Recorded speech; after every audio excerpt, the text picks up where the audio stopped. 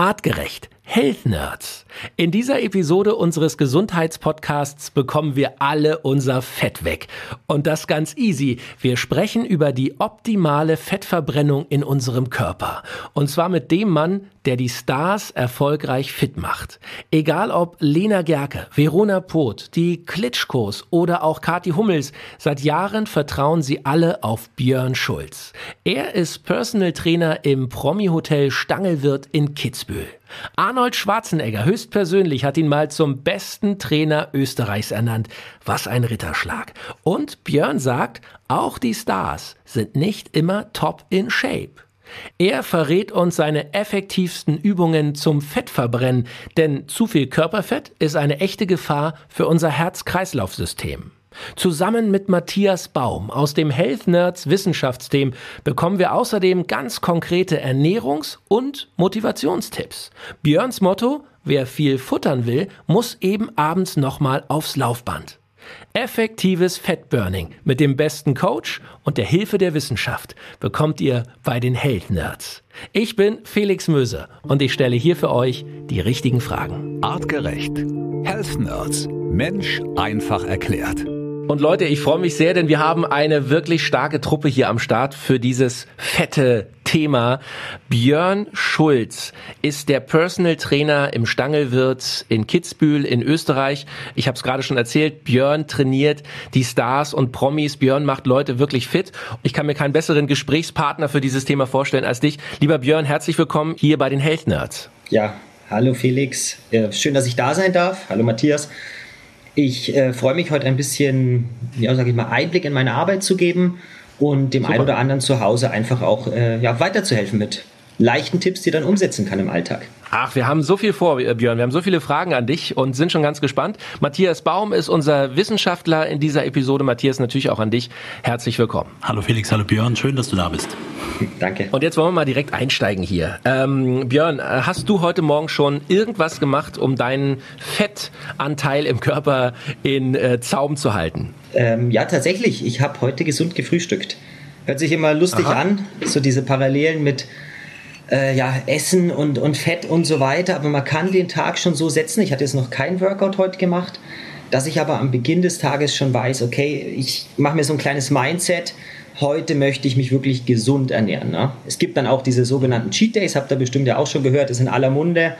Ähm, das Problem dabei ist aber, wenn man einmal anfängt mit so einem extremen Cheat Day, dass man dann auch gerne sagt, nach drei, vier Tagen, ich berichte jetzt aus der Praxis von meinen Leuten, dass sie dann sagen, ja, heute kann ich doch mal wieder mir was äh, gönnen und dann hat man irgendwann diesen Lauf, ist wieder ein Zucker im Kaffee, ne? dass man sagt, das mache ich jetzt einmal, das mache ich zweimal und dann wird es die Routine und das zieht sich über Jahre hinweg und da kann der Matthias bestimmt dazu was sagen.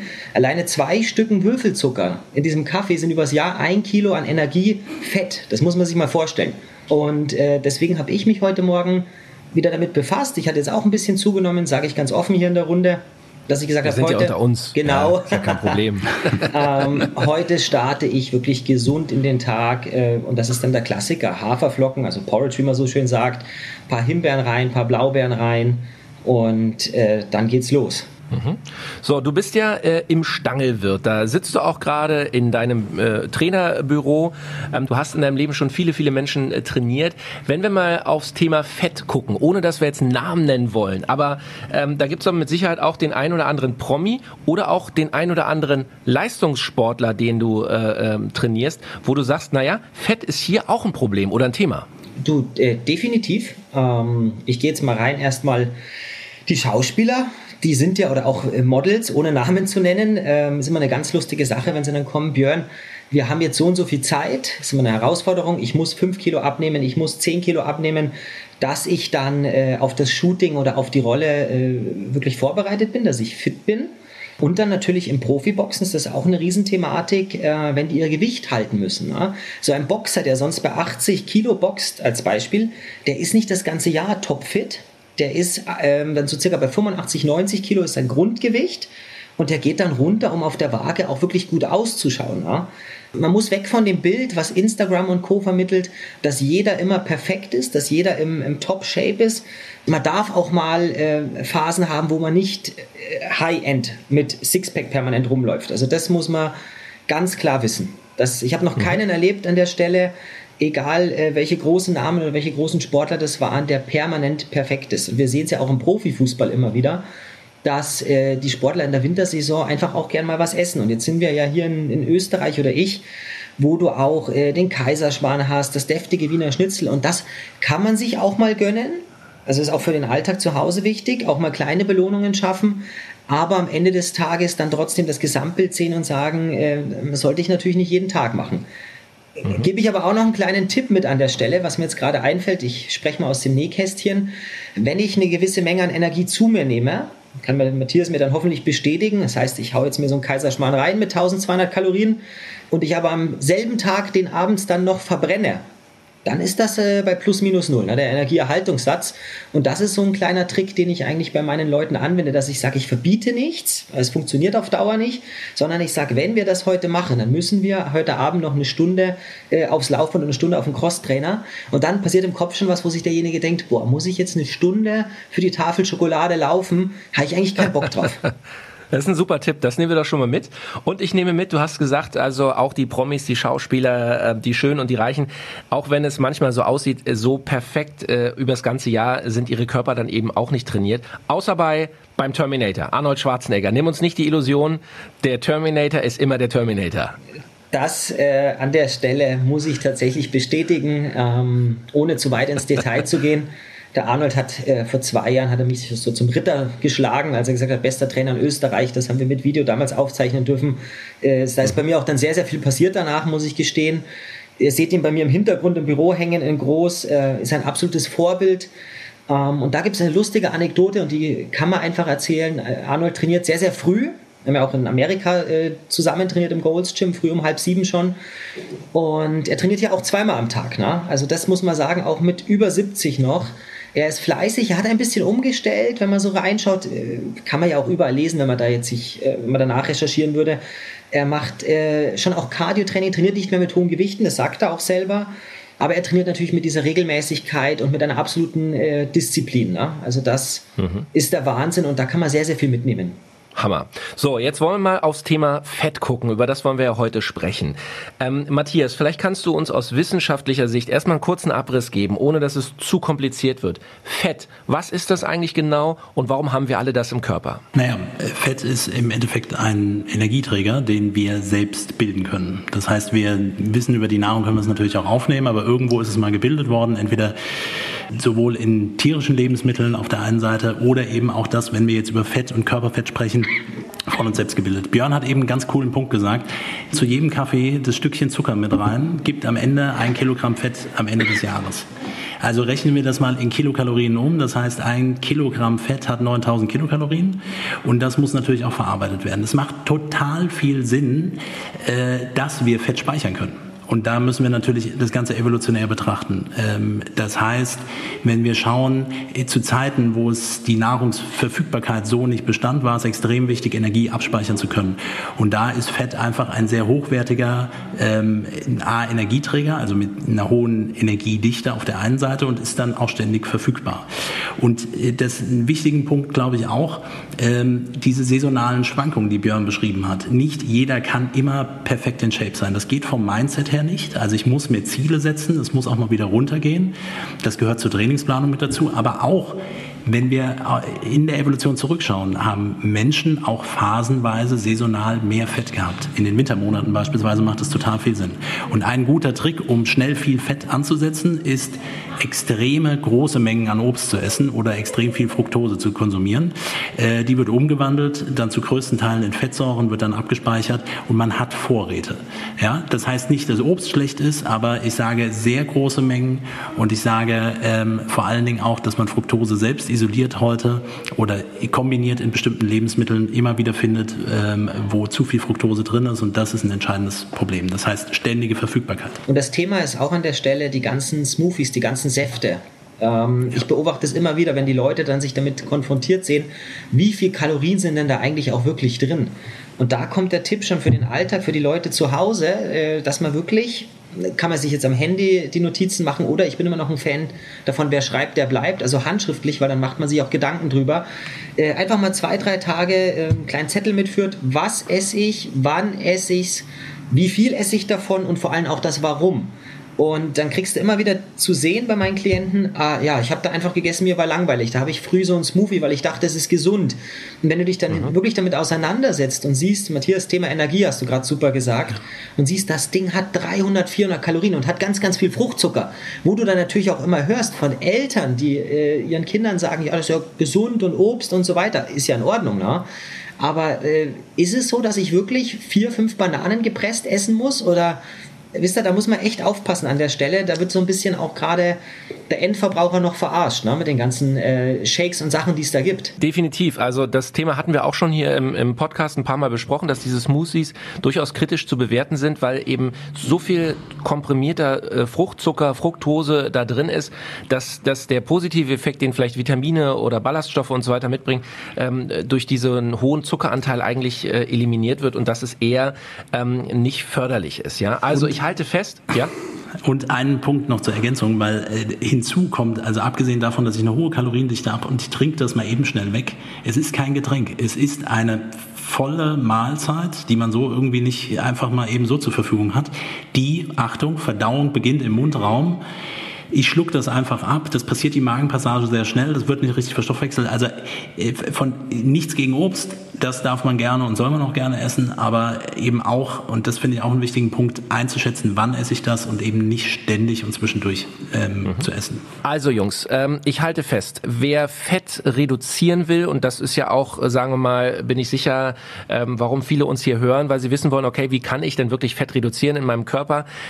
Zucker ist ein großes Problem. Zucker reduzieren, Nahrungsfrequenz reduzieren, nicht ständig und immer wieder dem Körper irgendetwas reinwerfen reinwerfen, sei es ein, ein Cappuccino, sei es ein, ähm, ein, Smoothie, sei es ein Stück Schokolade oder eine Banane, weil jedes Mal ähm, die Insulinausschüttung äh, gestartet wird, wenn wir was essen und dann passiert was, Matthias? Naja, also dann, wenn Insulin als anaboles Hormon, ähm, was ja prinzipiell erstmal auch so, also mit Fettverbrennung oder mehr Fettverbrennen geht ja auch oft auch einher zu sagen, ich will auch Muskelmasse aufbauen, dann hört man Anabol und dann hört man, oh, Anabol ist super, lass mal aufbauen.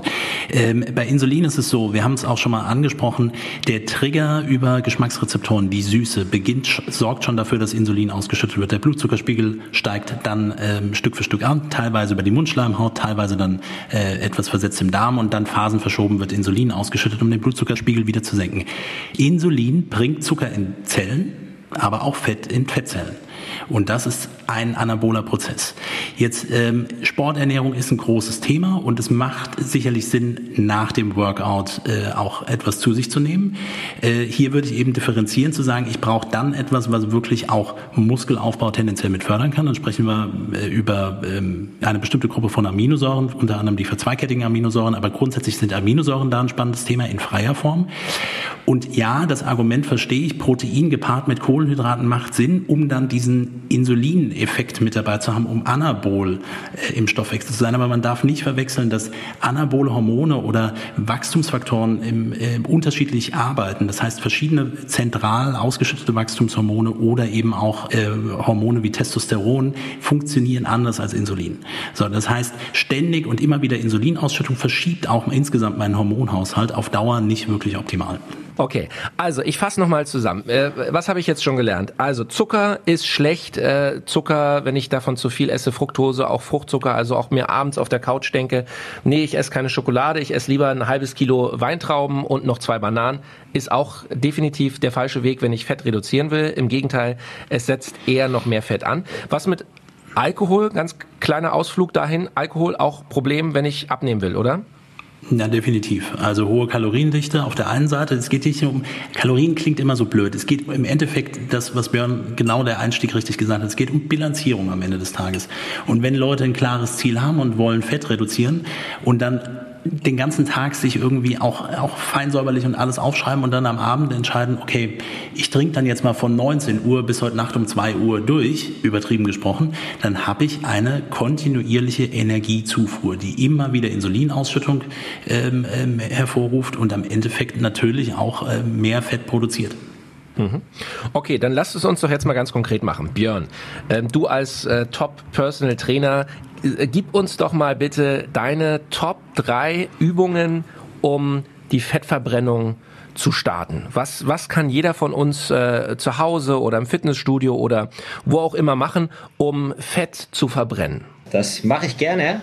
Und das ist so das klassische. Schreibst, äh, schreibst du uns eine Rechnung danach? Oder, schreibe ich euch eine Rechnung, oder kriegen wir es? Ja.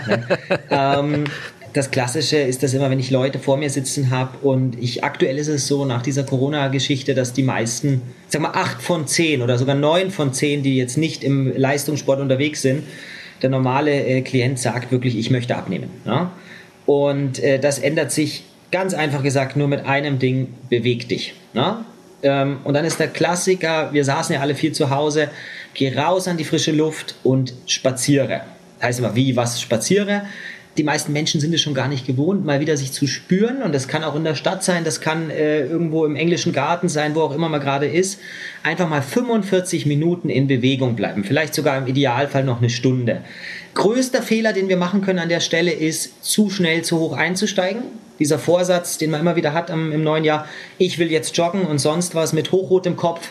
Ähm, extrem motiviert, übermotiviert. Ich möchte jetzt äh, ein Hit-Training gleich starten alles recht schwierig für den Beginner, für den Anfänger, sondern wirklich erstmal wieder die Basis der Bewegung finden. Und ich rede davon, dass man wirklich eine Routine kreieren muss und zu sagen, ich blocke mir, ich mache das dann ganz gerne so, ähm, dass ich mir immer gewisse äh, Calls lege mit den Leuten, mit meinen Klienten. Ich gehe selber dabei draußen eine halbe Stunde spazieren. Ich habe natürlich den Vorteil hier in der Natur bei den schönen Bergen. Aber das ist so dann die Betreuung in der High-End-Art. Aber was jeder für sich selber machen kann, ist wirklich erstmal jetzt spazieren gehen oder Fahrrad fahren. Und dann kommt es auf die Dauer an. Wir verbrennen zwar die ganze Zeit Fette, aber wir müssen dem Körper erstmal wieder beibringen, dass er seine Fette, seine Triglyceride verstoffwechseln kann. Und da gibt es ein ganz gutes ähm, Bild, was ich den Leuten an der Stelle immer schaffe. Ähm, man muss sich das so vorstellen, bei 60 bis 70 Prozent, kann der Matthias nachher noch im Detail erklären, der maximalen Herzarbeit ist beim normalen äh, Mann oder bei der Frau so circa ein 120er bis 130er Pulsschlag verbrennen wir eigentlich am idealsten die Fette, die Triglyceride. Einfaches Bild. Wir haben jetzt einen Mann mit einem Bauch. Ne? Das kann sich jeder so ein bisschen vorstellen, ein bisschen Bauchfett oder die Frau, die sagt, ach, am Schenkel und sonst was. Da kommen kleine Männchen mit der Spitzhacke und hacken da so ein bisschen dran rum. Das heißt, Felix schmunzelt gerade, aber genauso erkläre ich es den Leuten, weil wir brauchen ja visuelle Bilder. Ähm, die hacken da so ein bisschen rum und dann entsteht da so, wenn die da rumhacken, entsteht dann irgendwo ein Produkt, ein, ein Berg Fette. Ne? Ähm, wenn ich jetzt ein bisschen höher trainiere, zwischen 70 und 80 Prozent, kommt der LKW, diese Männchen laden die Fette auf und die werden weggefahren, die werden transportiert, die werden verwertet. Ja? Und jetzt kommt der Punkt, der Manager, der sagt, oh, ich laufe schon die ganze Zeit, ich laufe seit zwei Jahren, hochroter Kopf. Ich weiß gar nicht, warum ich äh, im Moment nicht abnehme. Ich will ja eigentlich nur abnehmen, deswegen laufe ich, das ist mein Ziel. Ähm, da steht der LKW zu Hause in der Garage, die Männchen sind gar nicht da, die arbeiten gar nicht und sonst was. Und der LKW wird am Ende des Tages nur getuned, der wird nur schneller, nur größer gemacht. Ne? Also man muss mit diesem Bild so ein bisschen ähm, verstehen, dass man gar nicht so hoch trainieren muss, um abzunehmen. Ne? Das, was dir immer vorgegaukelt wird, in einer Stunde, ich habe ja viele Box-Workouts auch schon gemacht, da verbrennt man sehr viele Kalorien, das ist richtig. Aber man muss natürlich auch immer diesen Mix finden aus ähm, der Balance, aus der regenerativen Form, 60, 70 Prozent HF Max, also 130er Puls und immer mal kurz nach oben Spitzen setzen. Super, also das gibt uns doch schon mal ein, ein, ein Overview. Trotzdem, lass es uns noch ja. mal konkret machen. Was wäre eine Übung, wenn ich jetzt vor dir stehe und sage, Björn, schau mich an, ich habe zu viel Fett in meinem Körper. Ähm, was können wir äh, äh jetzt machen hier auf der Stelle als Übung, um, um dann, Fett zu verbrennen? Dann würde ich definitiv natürlich die Kniebeuge empfehlen. Ganz einfach, mhm. kann jeder machen zu Hause gleich äh, nach dem Aufstehen, weil sie sehr, sehr viel Gesamtmuskulatur beansprucht und wir natürlich, wenn wir mehr Muskulatur im Körper haben, um es einfach zu erklären, auch natürlich mehr verbrennen. Wir haben einen höheren Grundumsatz. Also die Kniebeuge ist so eine Übung, die auch, ähm, sagt mal, so ein bisschen Rückenschmerzen etc., die, wenn man sie richtig ausführt, ohne große Gewichte, schon mal sehr, sehr viel äh, vorantreibt. Würdest du diese äh, Kniebeuge jeden Tag machen? Und wenn ja, wie viele Wiederholungen sollte man äh, ungefähr machen? Also ich würde sie jeden Tag machen. Der Anfänger drei Mal, also drei Sätze, a 10 bis 12 Wiederholungen. In der Regel dann aber steigern auf 15 bis 20. Es bringt jetzt auch nichts zu sagen, jetzt mache ich jeden Morgen äh, dreimal, also was heißt, es bringt nichts? Es würde schon was bringen, wenn ich sage, ich mache dreimal 50 Kniebeugen. Aber dann würde ich eher ein bisschen spielen und andere Reize setzen. Ne? Aber das ist so, wenn du mich jetzt auf eine Übung festlegen würdest, wir haben ja so viele Übungen in dieser Instagram-Welt, äh, würde ich trotzdem sagen, die Kniebeuge ist so der Klassiker für äh, Fettverbrennung und trotzdem einen guten Muskelaufbau. Ne? Mhm. Matthias, ganz kurz äh, zum Einhaken. Björn hat gerade ja. schon gesagt, mehr Muskeln äh, helfen auch ähm, einen höheren Grundumsatz zu haben. Also die Kalorien werden besser ähm, ähm, verwertet sozusagen. Wie wichtig sind denn Muskeln äh, oder der Aufbau von Muskeln, wenn wir über Fettverbrennung oder Fettreduktion sprechen? Genau, also der erste Punkt, ja absolut, mehr Muskelmasse verbrennt ähm, mehr Kalorien in Ruhe pro Tag, äh, pro Kilogramm Muskelmasse knapp äh, 100 Kilokalorien mehr. Das ist immer noch mal interessant zu wissen. Prinzipiell hat Muskulatur verschiedene Aufgaben. Also natürlich ist die naheliegende Aufgabe, zwei auseinanderliegende Punkte zusammenzuführen über ein, äh, ein, ein Gelenk, ja, also irgendeine Bewegung, die ich damit machen möchte. Ähm, es gibt aber natürlich auch noch viele andere wichtige Faktoren, nämlich äh, zum Beispiel, dass Botenstoffe in Muskulatur produziert werden und die dafür zuständig sind, dass Energie zum Beispiel in Richtung Muskulatur gebracht wird. Äh, Muskulatur ist unter Bewegung in der Lage, das Immunsystem zu regulieren, äh, Krankheiten vorzubeugen. Ich meine, das ist sicherlich bekannt, aber was da wirklich biochemisch in der Muskulatur abläuft, ist hochinteressant und ist die Verbindung eigentlich bei ausreichendem und regelmäßigem Training, Muskelaufbau nicht nur lokal irgendwelche Schmerzprobleme zum Beispiel zu beseitigen, ähm, sondern eben natürlich auch Fettverbrennung zu verbessern, das Immunsystem zu optimieren. Und ich meine, über Immunsystem haben wir schon viel gesprochen. Wenn ein Immunsystem richtig funktioniert, bedeutet normal reagiert und nicht chronisch aktiv ist, dann wird auch wieder besser Fett verstoffwechselt. Das ist ein Aspekt, der damit in Verbindung steht. Okay, also das ist die Wissenschaft äh, hinter dem Muskelaufbau. Björn, Kniebeuge ist eine Übung. Gib uns noch eine zweite. Was können wir noch machen? Wie ist es mit, mit Joggen gehen oder, oder Fahrradfahren? Ist das auch etwas, wo du sagen würdest, das hat einen guten Effekt auf die Fettreduktion? Definitiv. Definitiv. Ich gehe jetzt nochmal schnell in eine Kraftübung rein, ganz klassisch äh, für uns Männer, wo wir uns immer schon fast animalisch fühlen, natürlich die Liegestützen das ist auch so ein Thema. Äh, sehr viele Muskelgruppen, die angesprochen werden, eine gewisse Stabilität, die mit drin ist. Und dann, um die dritte Übung noch zu vervollständigen, die Unterarmstütz. Einfach für eine gewisse Grundstabilität im Körper. Also mit diesen drei Übungen, die man wirklich täglich machen kann, machen sollte, fahren wir schon mal ganz gut, was so eine gewisse Grundmuskulatur angeht. Und dann habe ich mir nebenbei noch ein paar äh, Notizen jetzt gemacht, ähm, um das vereinfacht für den oder diejenige, die da zu Hause zuhört, äh, hinzustellen. Ich würde es wirklich so machen, als Idealtipp, zwei bis vier Wochen so eine Grundlagengeschichte aufbauen. Am besten natürlich mit einer Pulsuhr, 130er Puls, Fahrrad fahren, lockeres Joggen bis Spazieren ähm, und dann zu starten mit leichten Intervallen. Dann kann man den Puls, dann ist eine gewisse Grundfitness da, dann ist auch eine Fettverbrennung da, der Körper weiß erstmal wieder, wie es funktioniert und dann kann man den Puls so ein bisschen immer hochbringen und aber auch, ähm, wie es ja beim, beim HIIT-Training ist, auch wieder ein bisschen dann runterfahren. Ne? Ähm, äh, du hast gerade was ganz Interessantes äh, gesagt, Björn. Der, der Körper muss sich erstmal wieder dran erinnern, wie Fettverbrennung funktioniert. Matthias, aus wissenschaftlicher Sicht, äh, gibt es tatsächlich diese Effekte, dass der Körper so etwas verlernt oder eben nicht mehr darauf trainiert ist? Definitiv, also auch metabolisch, ja, also auf, Stoff, auf Stoffwechselebene heißt im Endeffekt äh, ein gängiger Faktor, da haben wir glaube ich auch schon mal drüber gesprochen, aber ich erwähne es gerne nochmal, wenn ich immer und immer am Essen bin und immer äh, dem, dem Körper Energie nur durch Nahrung zur Verfügung stelle, dann wird ja, haben wir, hatte ich eben schon erwähnt, auch dieser anabole Effekt immer wieder erzeugt. Das heißt, ich kann gar nicht gut darauf zurückgreifen. Meine Speicher sind gefüllt und der Körper ist es gewohnt, jetzt nur aus in der Blutbahn befindlichen Zucker zu reagieren. Und äh, wenn das dieses System irgendwann, man sagt auch wirklich Metabolic Switch, also irgendwann umstellt und ich dann an einem Punkt bin, wo ich am Ende äh, nur mit dem Zucker gut arbeiten kann, der wahrscheinlich schon ein bisschen erhöht ist in, in meiner Blutbahn, greife ich nicht mehr auf Reserven zurück. Dann macht das Stress im Körper, Stresshormone werden ausgestellt, der Blutzuckerspiegel steigt wieder an. Super gut für den Moment, aber Fett habe ich immer noch nicht verbrannt. Mhm. Dafür bauen die Stresshormone dann zum Beispiel aus Muskulatur Aminosäuren ab und verstoffwechseln sie wieder zu Zucker. Also äh, und, und dieses wieder dran gewöhnen und lernen ist das, was viele kennen, die lange nicht gelaufen sind und dann wieder laufen gehen oder joggen gehen vielmehr und unterwegs sind und plötzlich in ein totales Tief reinfallen, weil der, die Umstellung, also wie Björn eben richtig gesagt hat, alles läuft parallel. Ähm, äh, Glucose wird verstoffwechselt, Fett wird verstoffwechselt, auch ein bisschen Aminosäuren werden verstoffwechselt. Aber irgendwann sollte natürlich auf Dauer die Fettverbrennung deutlich ansteigen. Und wenn dieser Switch nicht funktioniert und man das wirklich verlernt hat durch Ernährung und zu wenig Bewegung, dann muss ich da erst wieder reinkommen. Und das ist dann ein Teil wirklich von Grundfitness, um dann wieder zu starten. Super. Also, ich habe mir aufgeschrieben, die ultimativen drei Übungen, die wir alle regelmäßig zu Hause machen sollten. Es wird wahrscheinlich auch nicht viel Zeit in Anspruch nehmen. Kniebeugen, Liegestütz Unterarmstütz. Äh, Björn, gib uns noch einmal äh, nur für diejenigen, die Unterarmstütz nicht sofort äh, ein Bild haben. Wie funktioniert er? Was muss ich machen? Ja, äh, wenn ich jetzt sage Plank, würde jeder sagen, jawohl, das wissen wir, das kennen wir. Äh, was hat sich dann so, ähm, Im Grunde ist es wie eine Art Liegestützhaltung, nur dass ich eben nicht auf den Hand, ja. äh, auf den Händen äh, mich abstütze, sondern im Grunde auf dem Unterarm, oder? Genau, also richtig. Ich mache quasi zwischen Ellenbogen und Hand, damit gehe ich auf den Boden und halte das einfach ein paar Sekunden. Wie lange sollte man halten, bis, es, bis der Körper zittert? Oder? Ja, da kommt ein ganz äh, guter Punkt.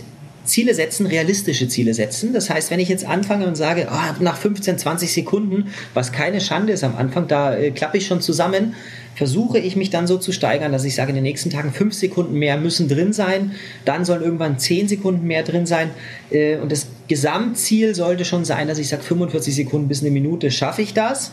Wenn ich das kann, gleich als Alternative, dann noch gibt es auch die sogenannte Side Plank wo ich mich dann auf die Seite drehe, wo ich nur noch einen Arm belaste, der dann auch die seitliche Bauchmuskulatur ein bisschen mehr oder ansteuert, anspricht.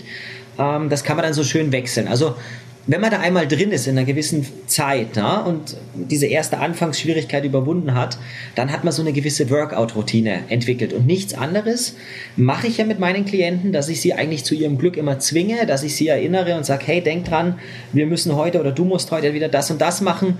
Ähm, ich bin zwar in Österreich hauptstationiert, aber mache das dann ganz gerne auch wirklich per ganz einfach per WhatsApp-Video-Call, dass ich sage, hey, lass uns heute zusammen zehn Minuten äh, die und die Übungen machen. Die sind bei dir heute auf dem, auf dem Plan. Und das ist ganz lustig. Dann kann man nebenbei äh, telefonieren, kann ein bisschen quatschen. Und das ist der Punkt. Also auch bei den Profisportlern, weniger ist da manchmal mehr, aber dafür natürlich mit einer gewissen äh, Routine und Disziplin. Und wir haben vorhin was Schönes gesagt ich würde als Laie mir trotzdem so einen Profisportler oder einen, als, als Vorbild suchen und sagen, ich kann natürlich nicht alles rauskopieren, aber ich kann so ein bisschen ein paar Sachen aus seinem Mindset natürlich mitnehmen und ich kann ein bisschen was aus seiner Routine mitnehmen. Ne? Weil wir sind, der Körper ist bei jedem, Matthias, ist bei jedem gleich. Ne? Wir haben äh, in der Regel zwei Arme, zwei Beine, einen Kopf und das funktioniert auch irgendwo so. Nur der eine hat es natürlich ein bisschen öfter gemacht, gewisse Übungen, ist ein Berufssportler geworden und der andere hat natürlich gesagt, du, ich esse lieber, ich sitze lieber auf der Couch äh, oder hat natürlich im, im Job sehr, sehr viel Stress. Also egal, auch wenn ich die letzten Jahre hier ähm, trainieren durfte, ähm, ich habe noch keinen erlebt, wo alles äh, perfekt war. Ne? Das muss man auch dazu sagen. Björn, jetzt ist es bei dir so, dass du in deine Workouts, egal mit wem du trainierst, ob äh, Schauspieler, ob Promi oder Geschäftsmann, ähm, du baust eigentlich immer, so habe ich es zumindest beobachtet und selber auch schon erlebt bei dir, äh, das Thema Boxen mit ein. Ihr habt einen Boxring im Stangelwirt stehen, äh, du hast äh, alles an Säcken und, und Punching Balls und Pratzen, was man äh, so bekommen kann. Ähm, du hast viele Jahre mit den Klitschkos sehr intensiv intensiv trainiert. Warum ist Boxen für dich so ein Ultimo-Fitness-Tool? Warum, warum ist das für dich so interessant geworden? Also warum gehst du auch mit einem Fußballer in den Boxring? Ja, das ist eine sehr gute Frage und auch eine sehr gute Beobachtung. Ähm, wenn man mir so ein bisschen die letzten Jahre verfolgt, ist es tatsächlich so, dass ich außer meinen extrem therapeutischen Trainings, ähm, wenn jetzt jemand im kompletten Aufbau wieder ist, nach einer langen Verletzung oder nach einem Bandscheibenvorfall, ähm, dass ich das Boxen nahezu immer mit einbaue. Äh, ich bin Quereinsteiger, muss man ganz offen sagen. Es hat lange gedauert, bis ich die Profilizenz dann auch bekommen habe und auch in Wettkämpfen mitnehmen, mitmachen durfte da ist die Klitschkos gerade erwähnt, von denen ich sehr, sehr viel lernen durfte, wo ich sage, auch jetzt äh, gerade mit Wladimir ein enger Bezug ist, äh, wo man immer noch einen Austausch hat, wo ich auch jetzt noch immer wieder neue Inputs kriege. Und mich hat das fasziniert, weil der Boxer in seiner Gesamtheit äh, nicht nur auf die Ernährung extrem achten muss, sondern weil er auch es sind mit die fittesten Sportler, die man so erlebt. Ne? Die müssen laufen, die müssen kämpfen, die müssen schwimmen in der Vorbereitung. Ähm, die haben, wenn sie ein, zwei Kämpfe verlieren, sind die weg vom Fenster. Also sie haben einen enormen Leistungsdruck. Die bereiten sich in der Regel acht bis zehn Wochen auf ein Event vor, was dann in drei Minuten vorbei sein kann. Und da habe ich mich dann länger damit befasst und habe eigentlich die Komplexität des Schlages oder der Bewegungen mit äh, Rumpfbewegungen. Ja? Also die Bauchmuskulatur muss arbeiten, die Hüfte muss arbeiten, der Körper muss angespannt sein. Und auch interessant, äh, der Kopf verbrennt natürlich auch Fett. Ne? Wenn wir da denken müssen, wie bewege ich mich und so weiter. Ähm, ich muss ausweichen. Felix, du hast es ja schon erlebt, auch im Training. Äh, man kommt damit sehr, sehr wenig, viel ins Schwitzen Und jetzt ist ja eines so von meinen kleinen Highlights, dass die Leute in der Regel immer einen Pulsgurt umkriegen, also herzfrequenzgesteuertes Fitnessboxen. Ne?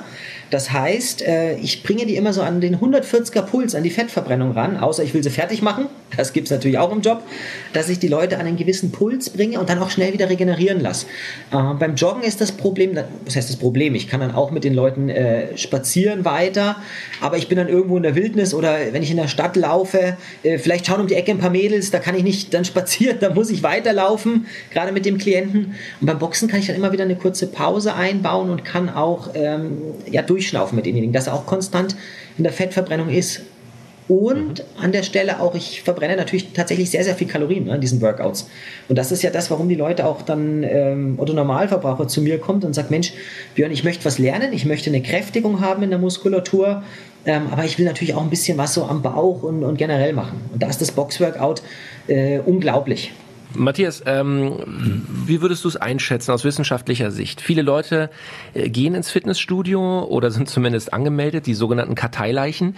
Ähm, und trotzdem äh, hört man immer wieder, ich mache regelmäßig was, ich gehe ins Fitnessstudio, aber es passiert mhm. nichts. Ich baue nicht richtig Muskeln auf, mhm. irgendwie, ich fühle mich auch nicht fitter, ich verbrenne kein, kein Fett, ich bin immer noch äh, bei äh, 96 Kilo. Ähm, Fitnessstudio versus Personal Trainer. Was wäre deine Empfehlung?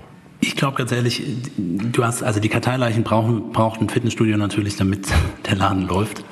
Wenn, wenn es möglich wäre und es mir aussuchen könnte, ähm, sollte jeder im, im Personal Training sein, wenn ich Sport machen möchte, weil es ist nicht so trivial, wie man denkt, nur mal irgendwie ein paar Gewichte zu heben. Also jeder hat wahrscheinlich schon mal irgendwann mal oder immer noch äh, ist im Fitnessstudio angemeldet, hat dann zu Beginn einen Trainingsplan bekommen, der ist nie richtig sauber eingestellt worden. Ähm, und dann fange ich an zu trainieren und merke irgendwie, okay, ich bin hoch motiviert. Motivation ist ein entscheidender Punkt, gerade so zu Beginn des Jahres, hohe Anmelderzahlen, okay, jetzt erstmal trainieren gehen. Und dann wird unter Umständen zu viel trainiert. Äh, das ist ein Faktor, der sich schnell einstellt, weil ich bin ja hoch motiviert und es muss jetzt ja schnell gehen. Und wir haben eben auch schon drüber gesprochen, schnell mal eben so Fett zu verbrennen, ist dann unter Umständen nicht möglich, Muskelmasse aufzubauen. Und ein Fehler, der immer wieder auftaucht, ist, dass die Leute nach circa so zwei Wochen und dann intensiven Training merken, oh, das geht jetzt viel leichter. Ah klar, natürlich, weil ich trainiere schon seit zwei Wochen und habe jetzt richtig Muskelmasse aufgebaut. Naja, in erster Linie hat jetzt eine Adaptation des koordinativen Systems stattgefunden. Ich kann Übungen einfach besser durchführen. Äh, und die Folge ist, dass man dann sehr eigenständig dann nochmal irgendwie die Gewichte noch ein bisschen erhöht. Nochmal eine Scheibe drauflegt oder wie auch immer. So, das heißt, A, gibt es ein gewisses Verletzungsrisiko auf der einen Seite. Oder es gibt die andere Gruppe natürlich auch, die sagen, hä, mir wurde das doch so eingestellt, ich mache das mal so weiter. Über sechs, acht Wochen, drei Monate, wie auch immer. Und es wird gar nichts mehr angepasst. Und ich kann natürlich total verstehen, wenn, wenn jemand sagt, äh, und es gibt zahlreiche Gründe, also ich kann gerne gleich noch ein paar nennen, warum Abnehmen unter Umständen nicht funktioniert. Und dann gibt es biochemische Zusammenhänge, es gibt Mikronährstoffunterversorgung, es gibt ähm, der Stoffwechsel, der nicht richtig am Arbeiten ist. Das mag alles sein. Aber wenn wir ganz ehrlich sind, und Björn hat es eben schon gesagt, track das Ganze mal handschriftlich. Halt mal fest, was hast du gegessen, wie hast du dich bewegt, wie intensiv war das. Sei auch ehrlich zu dir selbst. Pulsfrequenz ist ein Thema, worauf man eingehen kann. Es gibt natürlich unterschiedliche Messmethoden, aber entscheidend ist, konsequent messen und objektiv messen und dann ehrlich zu sich selbst sein. Und ähm, ähm, wie gesagt, es gibt Gründe und auch das immer mal wieder, dass man das erlebt, aber häufig ist der naheliegendste Punkt ist, ich esse unter Umständen zu viel und trainiere nicht intensiv genug, wenn sich wirklich gar nichts verändert. So, aber nochmal, nicht, dass sich jemand auf den Schlips oder auf was auch immer getreten fühlt. Ähm, es gibt Faktoren und dann lass mich noch drei Sachen kurz dazu sagen. Ähm, auch auf Organebene, auf biochemischer Ebene.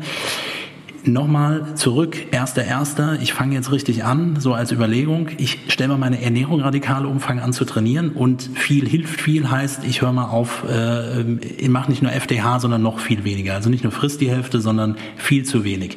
Eine völlige Unterbilanzierung sorgt dafür, dass der Stoffwechsel auch umstellt und gar nicht auf Reserven zurückgreift, dabei die Schilddrüse noch runterreguliert wird und nicht genügend Energie zur Verfügung steht. Äh, das ist dann irgendwann verliert man dann auch in Crash-Diäten äh, vielleicht Gewicht, aber eben kein Fett, sondern in erster Linie, also bei einer zwei Wochen Diät verlierst du halt Flüssigkeit, äh, aber nicht große Mengen an Fett. Ähm, ein anderer wichtiger Faktor, über den wir schon viel gesprochen haben, ist der Darm. Gestörte Darmbarrieren sorgen dafür, dass das Immunsystem aktiv wird. Wenn das Immunsystem aktiv wird, werden Stresshormone ausgeschüttet. Wenn Stresshormone ausgeschüttet werden, wird Energie aus Reserven, nämlich Muskelmasse, hauptsächlich produziert, zu Glucose umgewandelt. Mehr Energie, die über die Nahrung aufgenommen wird, strömt auch in den Körper ein. Das heißt, die Verwertung eines Lebensmittels, was ich gegessen habe, ist unter Umständen auch höher. Auf den Darm muss also geachtet werden, auf die Leberfunktion muss geachtet werden. Das haben wir auch gesagt, wenn die entweder durch zu hohen Fructosekonsum, wenn die Leber anfängt zu verfetten oder viel entgiften muss, arbeitet sie nicht richtig. Wenn das Immunsystem aktiv ist, ist sie ist die, die Leber aktiv sozusagen für das Immunsystem, kann sich nicht mit Entgiftung beschäftigen, auch ein wichtiger Faktor drauf zu schauen. Und letzter Punkt, und dann höre ich auch auf, die Mikronährstoffebene. Äh, ein Thema, was immer mal wieder auch bei, bei VegetarierInnen aufkommt, ist, äh, oder auch VeganerInnen, ähm, dass sie gerade nicht gut Fett verbrennen können. Und ein wichtiger Faktor, der dafür notwendig ist, ist L-Carnitin. Carne hat schon irgendwas mit Fleisch zu tun und L-Carnitin brauche ich als Transporter, um ähm, ähm, Fettsäuren in den Fettstoffwechsel sozusagen mit einzubinden, dass sie verstoffwechselt werden können. Zu wenig L-Carnitin, Fettverbrennung kann gar nicht richtig stattfinden. So, also nicht immer alles supplementieren, aber es kann sinnvoll sein, an der Stelle darauf zurückzugreifen, um das sozusagen mit anzukurbeln. Ja, der Körper kann L-Carnitin aus eigenen Aminosäuren auch selbst bilden, ist absolut richtig, aber ich hab, bin auf eine externe Zufuhr im Endeffekt angewiesen. So, und das wären jetzt mal drei Themen und an Mikronährstoffen gibt es noch natürlich eine ganze Palette, die das verhindern. Kann ich noch einsetzen, Super. einhängen da bei der Stelle? Ähm, weil man natürlich oft das mitkriegt bei den Mädels. L-Carnitin, also Vitamin T sozusagen in einem Fachjargon. Ähm, ich bin im, im Shape-Modus und ich habe die Shape-Caps oder das oder das. Wenn man sowas macht, kann man das machen, ja, ohne Frage. Dann aber auch ganz wichtig, nur ähm, zyklisch verwenden. Das heißt, äh, sechs bis acht Wochen mal so ein Radikalding. Ist, bin ich einverstanden, ist okay. Äh, danach aber auch wieder äh, runterfahren, weil Matthias, du kannst mich korrigieren, aber der Körper stellt irgendwann die eigene Produktion ein und dann hat man genau den negativen ähm, Effekt beim, beim L-Carnitin, oder? Ist richtig? Genau. Es geht nicht darum, dass man immer, das gilt, es gilt auch, also ich meine, alle wissen, kennen bei den, den Bezug natürlich auch zu artgerecht, alle Produkte ähm, sind sinnvoll in, in der Verwendung, aber es das heißt nicht, dass man immer alles ständig nehmen muss. Mhm. Und ähm, wenn ähm, man eben gerade über eine zyklische Verwendung oder im Rahmen einer bestimmten Planung äh, das verwendet, ist das auf jeden Fall sinnvoll, aber nein, man muss es nicht dauerhaft nehmen. Gibt es denn irgendwelche Lebensmittel, die wir hier nochmal nennen können als Tipp, ähm, die die Fettverbrennung ähm, supporten oder unterstützen? Also alles, was Schärfe hat, ist gut. Ähm, ähm, da reden wir vor allen Dingen von, von, von Chili. Wir hatten auch da schon mal drüber gesprochen. Diese, ich dachte jetzt die Nummer 67 bei meinem Thai um die Ecke. Ja, genau. Nicht ganz das. Also es geht wirklich um Chili-Schoten beziehungsweise um, um äh, Capsaicin oder Capsanoide in, in Chili, die sozusagen eine Aktivität des, ähm, eines bestimmten ähm, Stoffwechselprogramms äh, in der Zelle auslösen, äh, ist ein bisschen komplexer. Am Ende des Tages sorgt äh, die, dieses, dieser anregende Effekt dafür, dass Fettverbrennung angeregt wird und nicht nur Fettverbrennung angeregt wird, sondern auch die Produktion von braunem Fettgewebe. Haben wir auch schon mal drüber gesprochen. Das heißt, mehr neue Mitochondrienkraftwerke der Zellen in spezifischen Fettzellen, die dann wieder Energie produzieren und Energie verbrauchen. Zu guter Letzt, Jungs, wenn ich mich jetzt wirklich entscheide und sage, ich will das Thema aktiv angehen, ich will wirklich professionell die Fettverbrennung in meinem Körper starten, was sollte ich zum Beginn unbedingt tun? Also ich würde definitiv äh, empfehlen, auch zum Hausarzt zu gehen oder dem Arzt des Vertrauens und einfach ganz offen zu sagen, Mensch, ich möchte ein großes Blutbild, ich will schauen, wie sind bei mir die Vitamine, ähm, wie bin ich aufgestellt, was passiert gerade. Und jetzt in der jetzigen Phase merke ich einfach immer mehr, wenn ich mir die Blutbilder dann auch anschaue, dass der Vitamin D-Spiegel einfach äh, im Keller ist. Das ist ganz klar, ganz, ganz essentielles äh, Vitamin. Und genauso die... Ähm, die anderen äh, essentiellen Punkte einfach anschauen, zu wissen, okay, ich bin gesund oder ich kann da supplementieren oder über gesunde Ernährung was hinzufügen und dann äh, steht dem Ganzen nichts im Wege. Also wirklich erstmal eine Basis schaffen, auch zu gucken, wo stehe ich körperlich wirklich. Äh, Matthias, kann man auch den Fettgehalt im Körper wirklich messen? Macht das Sinn oder ist das eine sehr ungenaue Angabe? Naja, man kann auf jeden Fall ähm, ähm, sowohl in der Blutbahn äh, Triglyceride, also da haben wir eben drüber gesprochen, Fette, die gebunden sind an ein Glycerol Molekül, drei Fettsäuren. Äh, aber man kann eben auch Transporter für, ähm, für äh, Fette oder Cholesterine messen. Das sind schon wichtige Punkte. Man kann Omega-3-Fettsäuren, Omega-6-Fettsäuren in den Verhältnissen messen. Also es gibt ganz viel. Ich mache eine kleine Klugscheißer-Bemerkung. Äh, nicht, weil ich es unbedingt machen möchte, aber weil Björn die absolut richtige Empfehlung gibt ärztlich, therapeutisch das abklären zu lassen. Punkt eins. Wenn ihr aber hingeht und sagt, ich möchte ein großes Blutbild, dann kriege ich nur die Bestandteile, feste, flüssige Bestandteile im, im Blut, äh, rote Blutkörperchen und eine Differenzierung der weißen Blutkörperchen. Das, was Björn gesagt hat, wirklich auch über Mikronährstoffprofile zu sprechen, den Eisenhaushalt zu checken, ein wichtiger Faktor im Energiestoffwechsel und auch im, im Faktor der Fettverbrennung. Ohne Eisen funktioniert Fettverbrennung auch nicht.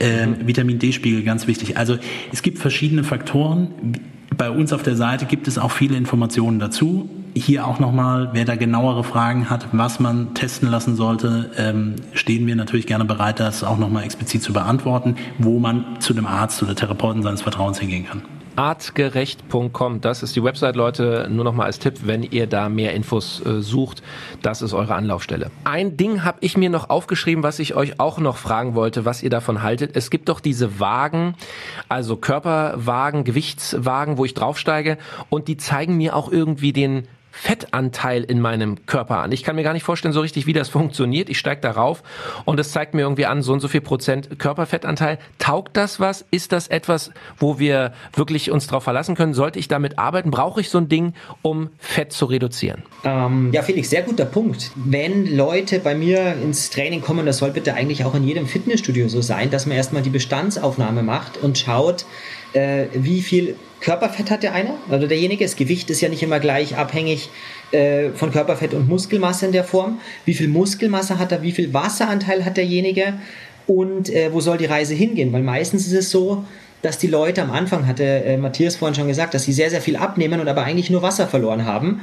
Ähm, und wir reden hier wirklich über die Qualität. Es gibt schon sehr, sehr gute Wagen im kleinen Segment, die man sich auch für zu Hause kaufen kann, die eine gewisse Bioimpedanzmessung machen.